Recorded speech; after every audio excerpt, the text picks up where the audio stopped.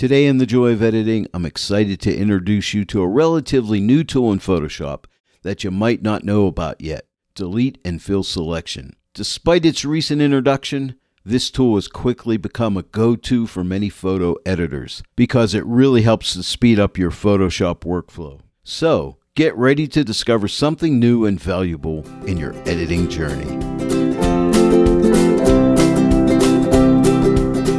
Hello, everyone, and welcome to the Joy of Editing with Dave Kelly. I'm excited to show you this tool, the Delete and Fill Selection in Photoshop. This will be a shorter video today, but I think it's going to be very helpful for you.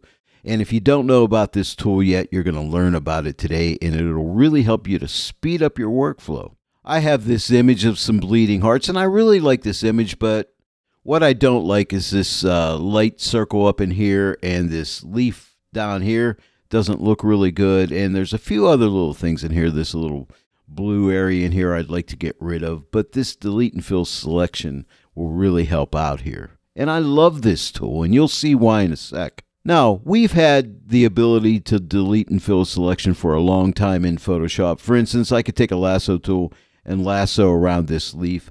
I'd have to come up here to edit and go to fill and then the fill dialog comes up and then we have contents. I can click on the drop down menu and say click on content aware and click OK. And there it is. It fills that up. And it does a really good job. But you'll notice I still have my selection here. I still see my marching ants. So just bear that in mind.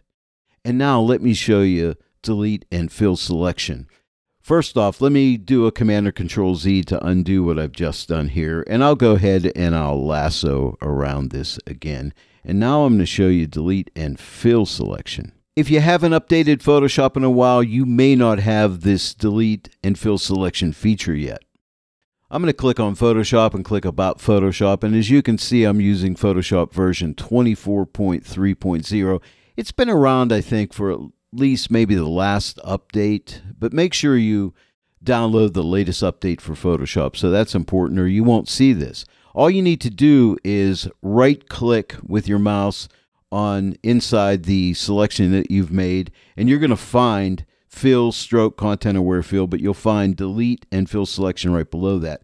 And check this out. All you have to do is click on that and it deletes and fills and it also gets rid of your selection for you. You don't have to deselect. That was really quick and easy to do. You saw all the other steps I had to do to delete and fill that selection, but with delete and fill selection here, it's just one click and it's done. So that's really nice. And then I could come up here to this circle here, and I'm just going to lasso around this whole area like this. And I'll just right click and click on delete and fill selection, and you can see it does a really good job, right? But now I want to show you something else. I'm going to shut this layer off. I went ahead and made a couple copies here. I'm going to turn this layer on. Here's something else you can do, and this is pretty cool. I'm going to go ahead and lasso around this leaf first. Here's a little thing here. Now, if you hold your shift key down, you can add to your selection. I'm going to remove this. This little blue area down in here, I'm going to see if I can remove that. And let me lasso around this area again.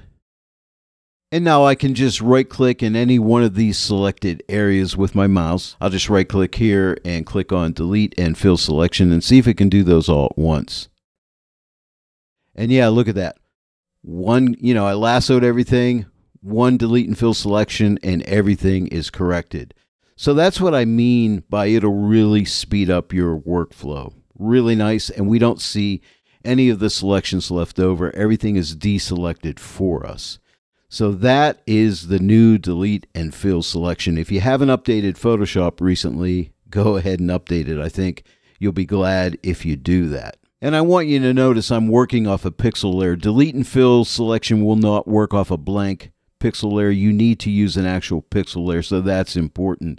Hey, let me know in the comments section below what you think of this new feature in Photoshop, delete and fill selection all with one click. I think it's really cool, but I'd like to hear your thoughts on that as well. Before I go, I don't like this area right here, so what I'm going to do is lasso around a bigger portion here.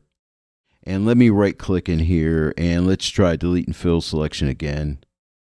And yeah, I think that looks a lot better. Sometimes you need to try a couple attempts to make it work better, so bear that in mind too. If at first you don't succeed, try, try again.